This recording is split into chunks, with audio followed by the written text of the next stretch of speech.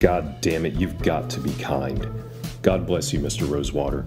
Kurt Vonnegut gave us a gift when he wrote you into the pages of our lives. It took you eight words to peel back two millennia of theological reflection and reveal the heart of what it means to walk in gospel centered responsibility to one another, to remind us that the presence of God grows like fruit on a tree, to call us to taste and see that the Lord is good. That one bite will flood our senses with love, with joy, peace, patience, goodness, kindness, faithfulness, gentleness, self control. Anything less than this is not the gospel, and if this is ever found to be the case, then God damn it, we've got to be kind.